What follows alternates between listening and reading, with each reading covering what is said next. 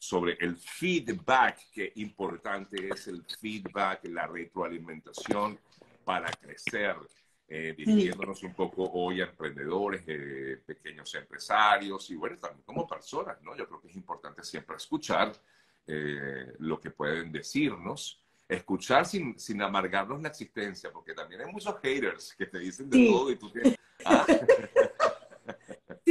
Porque tú sabes cómo está serio. Buenos días. a todos los que se conectaron. Eh, tú, tú, sabes que, que los haters, eh, ellos dan feedback, evidentemente, ¿no? Pero es un feedback que no está siendo eh, utilizado de forma correcta, porque tú siempre tienes oportunidad de mejorar siempre y cuando la información que te den sea una información que te permita crecer, ¿verdad?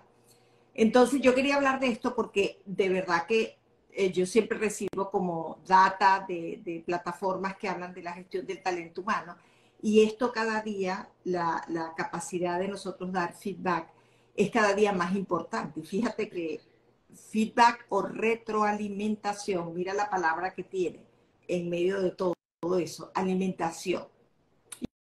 Y fíjate, la alimentación, ¿cuál es el propósito de la alimentación esta que tú y yo necesitamos para vivir?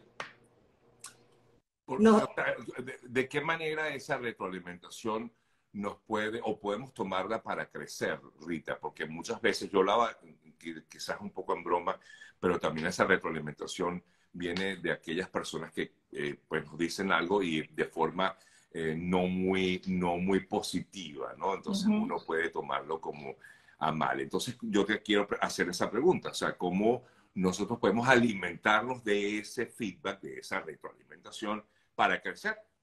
Bueno, Pif, cuando nosotros entendemos que esa es una conversación que tiene como propósito resaltar los resultados, bien sea logros, errores, aciertos, cómo los lograste, que es la estrategia. Es importante que si tú estás haciendo algo bien, yo pueda eh, entenderlo para que se pueda replicar. Y lo tercero, en cuanto a la persona en sí, qué comportamientos tú quieres mejorar, qué comportamiento tú quieres reafirmar, su compromiso, etcétera.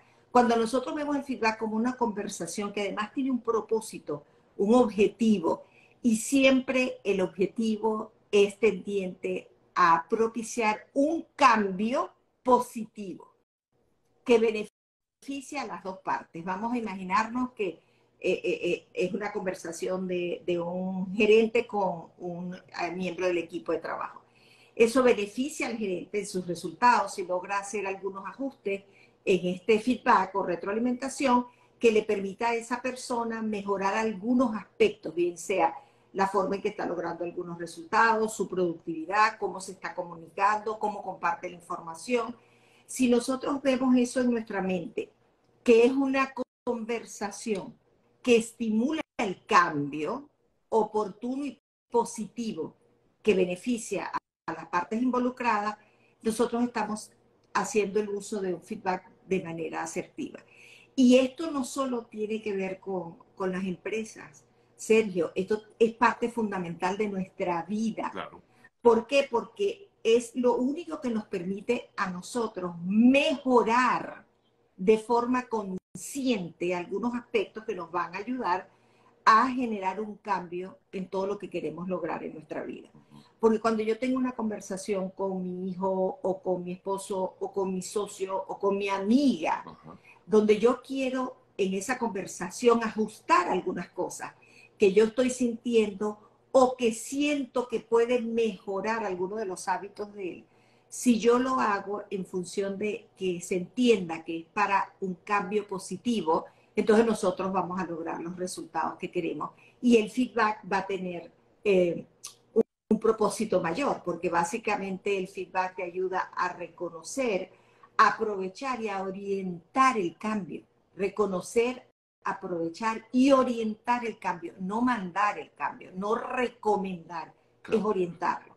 Porque la conversación debe ser tan nutriente que nos va a permitir a los dos usar esos elementos para cambiar lo que sea necesario para seguir logrando cosas positivas, porque nadie da feedback para reforzar una conducta que no es buena. Ahora, yo creo que debe haber también humildad de parte de la persona para poder aceptar que efectivamente puede haber algún error para eso, para cambiar o para modificar alguna conducta, eh, para recibir esa, ese comentario, eh, digamos, de una manera eh, asertiva, ¿no? Sí. Bueno, por eso, si tú eres el que vas a iniciar esa conversación, ah. porque necesitas que tu equipo de trabajo haga algunos cambios o ese o esa persona que tú le consigues una cantidad de cosas positivas, pero que tiene una, una tontería, algo de su personalidad, algo de la forma en que se comunica, algo que tiene que ver con errores que comete de forma frecuente, porque, por, varias razones. Cuando tú vas a iniciar ese, ese feedback, hazlo con los elementos que te permitan no atacar a la persona.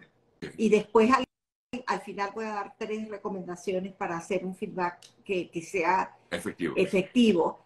Y para que no, porque cuando tú lo centras en, tú tienes este problema, tú estás haciendo esto mal, tú, llega un momento en que tú dices, bueno, coño, sí, no eres perfecto tampoco. Exacto, exacto. Y empieza como esa, esa guerra. Y por eso ayer veía a un influencer, Sergio, decir, pedir lo mismo, básicamente estaba pidiendo un feedback de respeto un feedback que le permitiera a ella mejorar y generar cambios que tuvieran un impacto en su comunidad. Pero lo demás no es un feedback, es ataque. Entonces le dijeron, lo que pasa bueno, pero no te gustó lo que te dije. Hoy día, hoy día eh, cuando hablas de feedback o cuando hablas de, pedir eh, eh, cualquier comentario inmediatamente, pues se traduce en eso que acabas de decir, no ataques. O sea, la verdad es que no... Claro, y eso ella entonces ella, ella lo único que pidió fue que si había algo que no les gustaba, ¿verdad? Que no tenían que, que faltarle respeto, simplemente decirle, mira, ¿sabes qué? A mí no me gusta como tú te pintaste el pelo. Y ella dice, eso yo lo respeto, porque eso no le puede gustar a todo el mundo. Pero que le empiecen a decir calificativos que son despectivos, ella dice, mira, no ganan ustedes ni gano yo. O sea, porque quien está escribiendo eso, diciendo eso, no se está sintiendo bien, ¿verdad? Pero fíjate, te voy a dar algunos porcentajes que sabes que me encantan. Este, de eh, Office Vibe es una plataforma que le sirve a todos los que están en procesos de liderazgo para encontrar data, porque tú como empleado puedes mandar data anónima que ellos procesan, o sea, información anónima, personas que ellos después califican en una data, y ellos dan alguna información que si tú estás en proceso de liderazgo te ayuda muchísimo. Y fíjate, él dice, ellos dicen que el 96% de los empleados quiere recibir feedback y solo el 30% lo recibe. ¿Y por qué hoy en día cada vez más ellos quieren recibir feedback? Porque esa es la única manera que tú mejoras o cambias algo que no estás haciendo bien. Y eso tiene un impacto en todo, en la organización, en tu desarrollo profesional, etc. Luego Harvard Business Review dice que el 72% de las personas sienten que su desempeño mejoraría si ellos reciben feedback correctivo. Fíjate, correctivo, positivo y oportuno. Y también para hoy en día que las empresas tienen un trabajo extraordinario en posicionamiento y en branding, en marca, Sergio.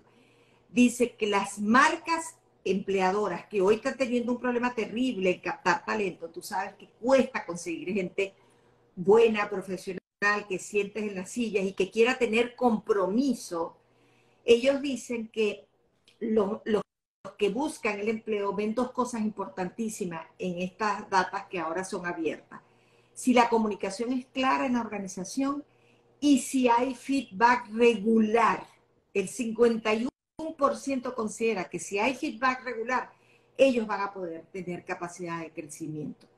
Y lo, y lo último es que el 43% de los empleados altamente comprometidos, fíjate, reciben feedback una vez a la semana. ¿Esto qué quiere decir? Yo quiero estar en una cultura, en una organización, en un equipo donde me retroalimenten y yo pueda crecer y mejorar. Claro. Porque la única manera que tú puedes decir, bueno, esto, esto lo voy a corregir, es cuando tú ha sido informado y por eso me encantó esto de permite reconocer, aprovechar y orientar el cambio. Si yo lo veo así, por ejemplo, si tú tienes un hijo que tú sabes que tiene que hacer un cambio de hábito, para él ver resultados mejores, tú tienes que sentarte a darle un feedback que considere esas tres cosas. O sea, quiero que él reconozca, que la aproveche y que oriente con esta información un cambio en su vida, porque este hábito lo va a llevar a otro nivel. Ajá, pero ¿cómo evitar que, ya que hablas de, de pronto de relaciones humanas, cómo evitar que la persona pueda tomarlo a mal? Bueno, por una crítica, porque el tema es ese, ¿no? Sí, bueno, porque nosotros también tenemos que tratar de escucharnos cuando estamos haciendo feedback. Ahora, mira esto, tres tips para un feedback, para que mejoremos, aunque sea un 10% haciendo el feedback. Mira, lo primero, el feedback debe ser oportuno, preciso y aprovechable. Ok. Si nosotros consideramos esas tres cosas y, ponemos y nos ponemos a pensar, debe ser descriptivo y no evaluativo. Si yo arranco y empiezo, mira Sergio, mira, yo quisiera conversar algo contigo, pero yo quisiera decirte que tú eres de verdad muy terco. Cualquier ah. parecido con la realidad, no es, esto es un ejemplo nada más. Sí, porque terco no soy. No, exacto. Entonces, si yo empiezo por ahí, ¿qué sientes tú inmediatamente? Te pones a la defensiva. Me estás, eh, eh, agrediendo, o sea, Exacto, te estoy criticando. Que no es lo mismo que yo te diga, mira, Sergio, quería conversar contigo porque yo sé que tu conocimiento te hace tener tanta confianza en lo que haces que a lo mejor persistes en esta idea, pero yo creo que podemos con tu ayuda y la mía y la del resto del equipo hacer un cambio y reforzar esto. Ya ahí que nos ¿Cómo te sientes tú? Ya yo no te estoy diciendo que tú eres experto, te estoy diciendo que tú tienes un know-how, una experiencia que es muy valorable, pero que yo creo que si le hacemos estos tweets vamos a ganar todo. La otra cuestión específico y no general. Tú sabes que hay gente que da vueltas y vueltas y vueltas y tú dices, ¿qué me quiere decir? O sea, mira, también si nosotros empezamos el feedback reforzando lo positivo para luego identificar la oportunidad de mejora, el resultado también va a ser mejor. Mira, tú sabes que a mí me encanta porque tú eres así, así, así. Pero yo quisiera que esta partecita, cada vez que me llamas, tú sabes, en vez de Rita Ritica, e, esa parte yo quisiera que la, la mejoráramos porque no me gusta, me siento como disminuida. Estoy poniendo un ejemplo. Pero fui precisa, no es que mira que tú a veces, cuando es martes, cuando es lunes, no, preciso. Lo es que responda a las necesidades de ambos.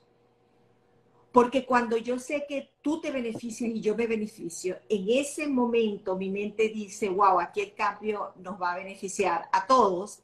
No soy yo el único que estoy diciendo, mira, tú tienes que mejorar esto, tú tienes que mejorar aquello, no.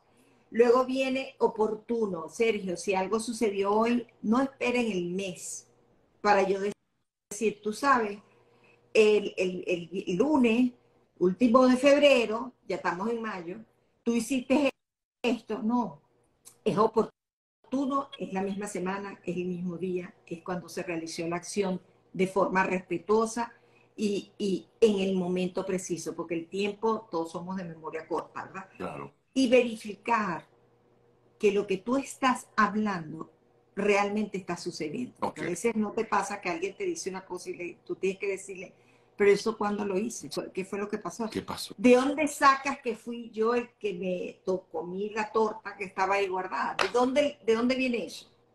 Entonces, si es verificable, si la información, tanto laboral como personalmente, tú le puedes decir, sí, ¿te acuerdas el martes que yo bajé a la una de la tarde tú estabas, te agarré en el pleno acto? Bueno, en ese momento tú dejas a la persona sin elementos para cuestionar el feedback.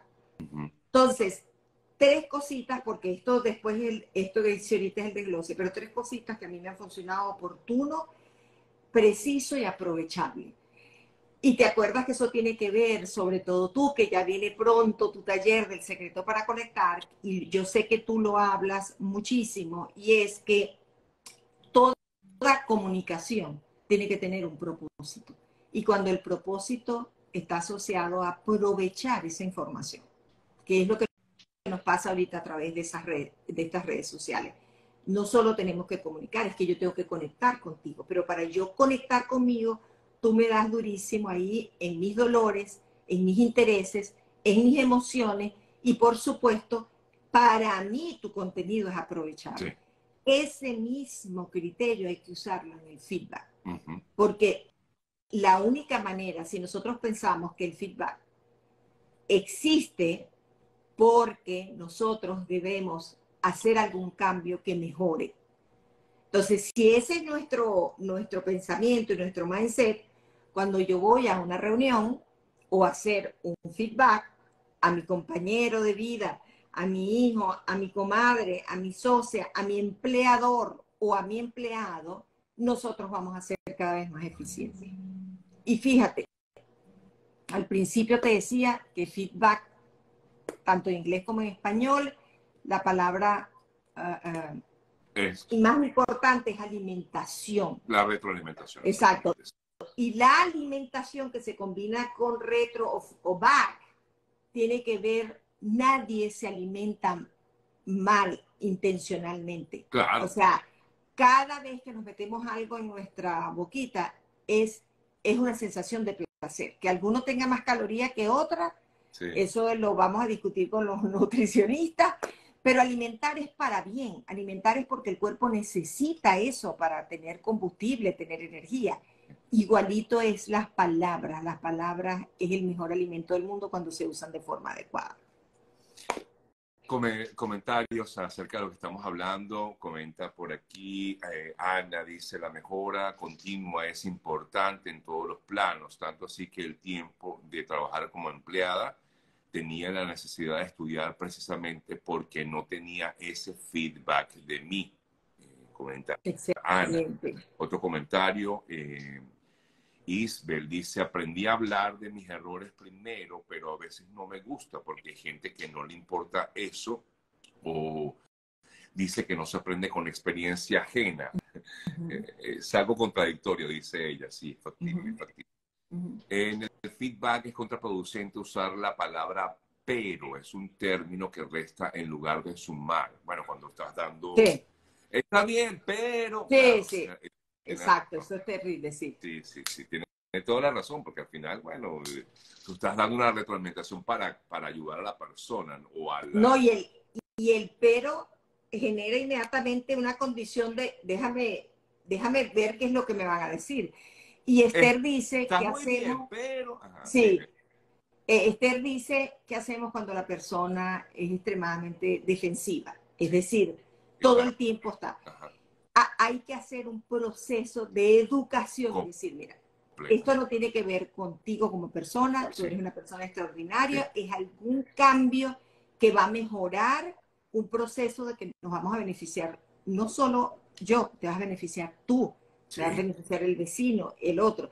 Y, a esas que son defensivas, porque también acuérdate que traemos creencias que nos hacen a lo mejor la experiencia anterior de recibir feedback, Sergio, no ha sido positiva. Entonces yo me convierto en extremadamente defensiva.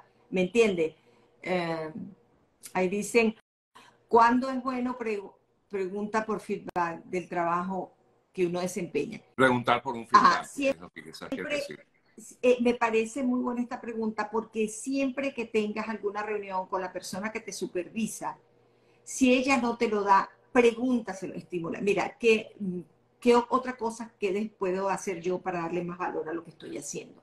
Me encantaría escuchar tu feedback. Esa es cuando tú tienes un colaborador o una persona a tu lado que te dice, te pide el feedback, eso es la bendición más grande, porque está abierta a sugerencias, te dice que quiere crecer, que es humilde, que ella considera o él considera que hay siempre oportunidades para mejorar. Y como hemos dicho en este programa, Sergio, cuando uno deja de mejorar o de aprender o de escuchar cosas que pueden mejorar, entonces ya estamos bajo un montón de metros bajo tierra.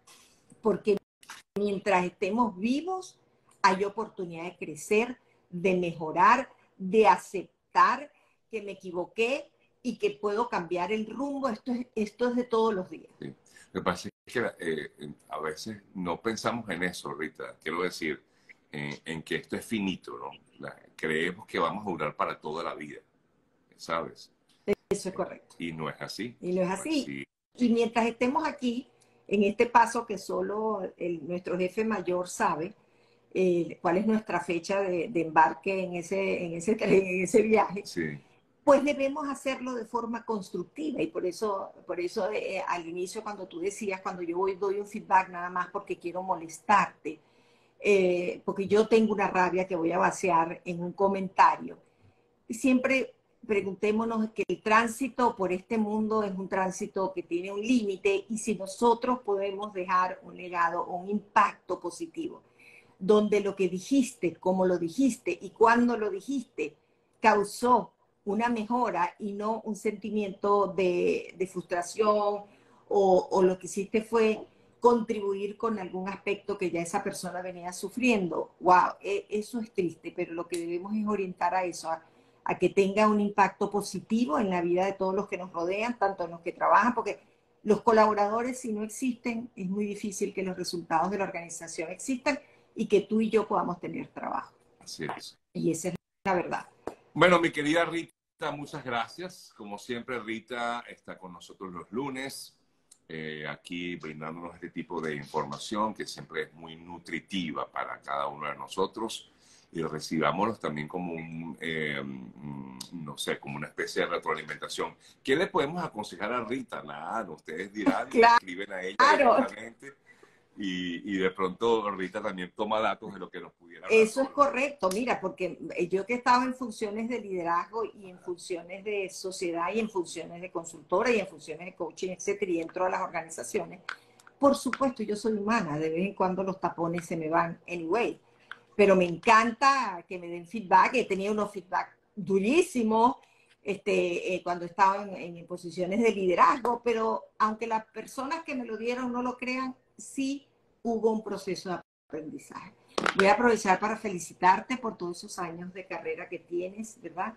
Y que has sido un comunicador incansable, de verdad, de, mantenernos informados a todos, que además me parece que lo que estás haciendo ahorita con el entrenamiento es compartir una información que a ti, para ti ha sido de utilidad y que eres una persona que conecta muy bien, que tienes una facilidad, un don.